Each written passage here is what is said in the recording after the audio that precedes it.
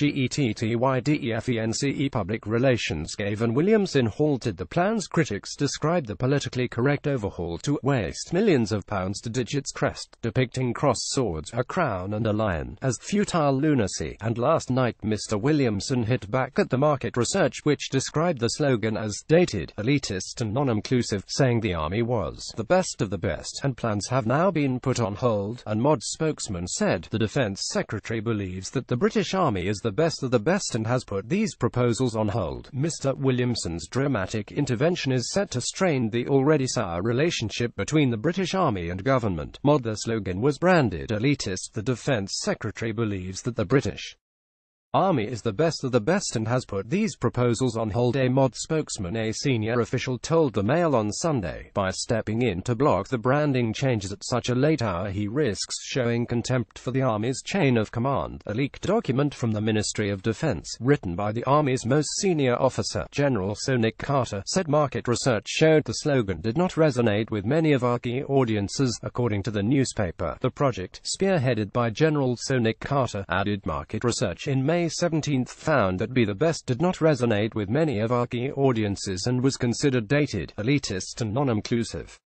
The ECAB Executive Committee of the Army Board therefore agreed that its use should be phased out as soon as affordably possible. The retirement of Be the Best will commence immediately with all planned refreshes of Be the Best branded material cancelled in favor of brand-compliant products. Chairman of the Commons Defense Select Committee, Julian Lewis, had blasted the plans and said that being the best was nothing to be ashamed of. He said it is a matter for pride and a very positive message to transmit. Why should we be afraid of excellence when we are constantly saying our armed forces are the best in the world? The former commander of UK troops in Afghanistan added that it was lunacy to squander money on a futile branding project when there was already pressure on the defence budget. The MOD said rebranding would cost £520,000, while market research is estimated to have cost £1.5 million according to industry experts. Last night, the MOD said like all organisations we adapt our brand to make sure it is up to date. Be the Best has been used since 1993 and, following detailed research, we've decided to update our branding at a cost of £520,000.